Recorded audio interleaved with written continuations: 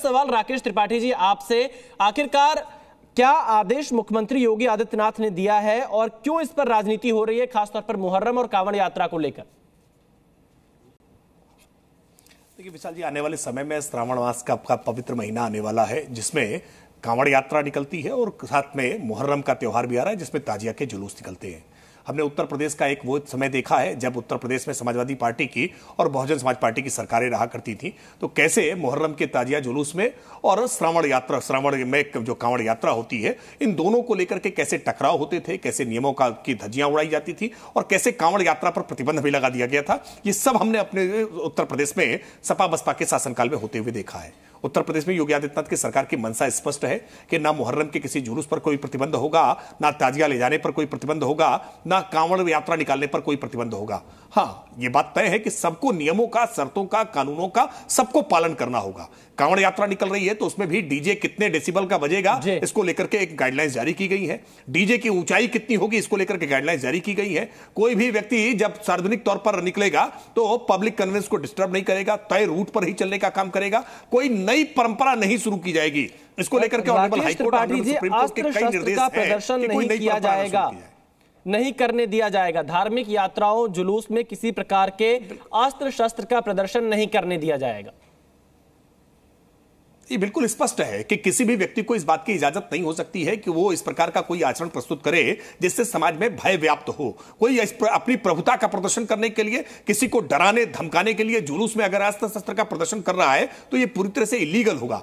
यह अभ्या, अभ्यास में आया है पहले हमने देखा है कि कई जब सार्वजनिक जुलूस निकलते हैं तो सार्वजनिक जुलूसों में अस्त्र शस्त्र का प्रदर्शन अपनी प्रभुता दिखाने के लिए अपनी ताकत दिखाने के लिए एक ये प्रयोग किया जाता रहा है। इसको पूरी तरह से रोकने के लिए दानिश कुरैशी जी, राकेश त्रिपाठी कह रहे हैं कि अस्त्र शस्त्र का प्रदर्शन बिल्कुल नहीं होना चाहिए।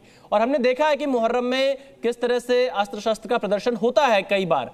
क्या कहेंगे आप? देखिए, मैं तो पहले, दूसरी बात तो बाद में कहूँगा। पहले मैं गुजरात के अहमदाबाद में हूँ और आज यहाँ जगन्नाथ भगवान की यात्रा निकली हुई है।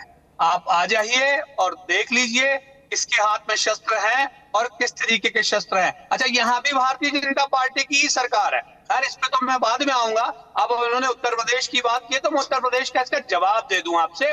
इसे ये पूछ लीजिए कि अस्त्र शस्त्र सबसे पहले तमाम लोगों के लिए आप प्रतिबंधित कर दीजिए और जिनकी परमिशन है ही को इजाज़त दी जानी चाहिए, चाहे वो आरएसएस के दशहरे के दिन शस्त्र पूजा करते हो या फिर आपको ताजियादारी के लिए जो इस्तेमाल करने वाले हथियार हैं जो ताजियादार जो लोग हैं वो तो बेचारे उसका इस्तेमाल करते हैं और आपके सामने है। अब सवाल ये है कि अंग्रेज़ों ने जो कानून बनाया था इस देश में सबसे पहला कानून था वो था आर्म्स एक्ट। और आर्म्स एक्ट से वही लोग घबराते थे।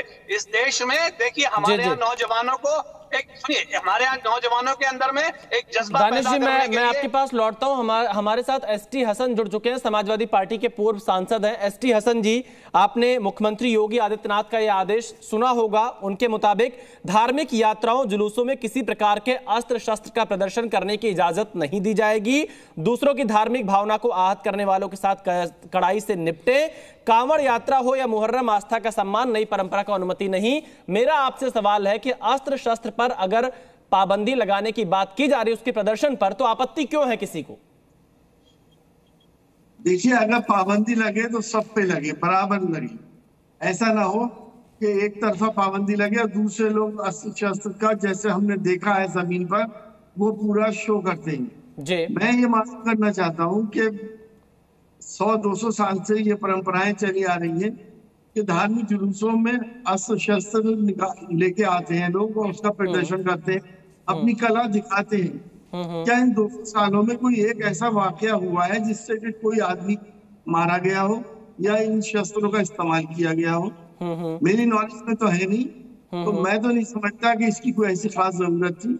लेकिन अगर करा भी है तो सबके लिए बराबर का सलूक होना चाहिए। ऐसा ना हो कि एक तरफ़ तो शस्त्र लिए जा रहे हैं दूसरे वर्ग को किया गया।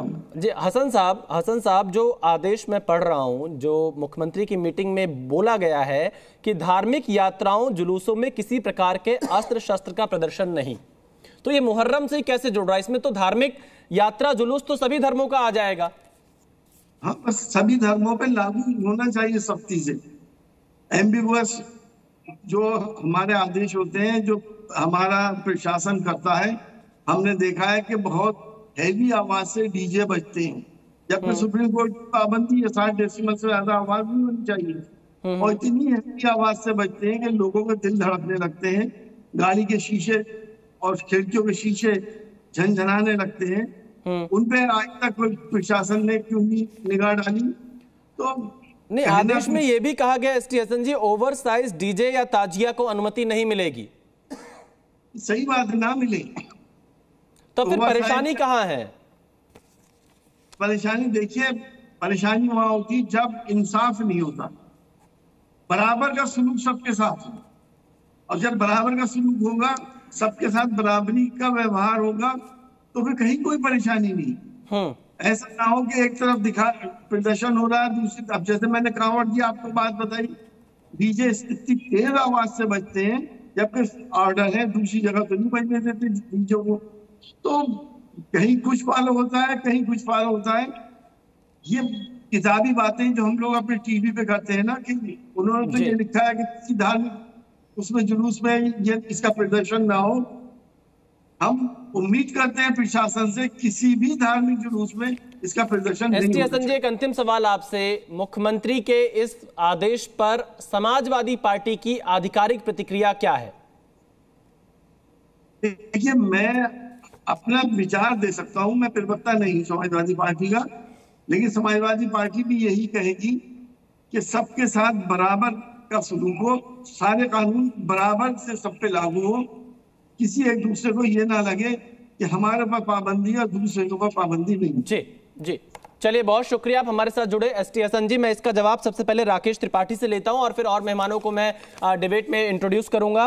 राकेश त्रिपाठी जी, एस टी हसन को आपने सुना, वो कह रहे पाबंदी लगे तो सब पर लगे। 100-200 साल से अस्त्र शस्त्र दिखाने की परंपरा चली आ रही है उनके मुताबिक। और ये कह रहे हैं कि इंसाफ हो तो बराबरी का हो। देखिए, सबसे पहले तो दानिश कुरैसी ने जो बात कही कि आज प्रभु जगन्नाथ जी की यात्रा में अस्त्र शस्त्र लहराए जा रहे हैं, ये पूरी तरह से झूठ है।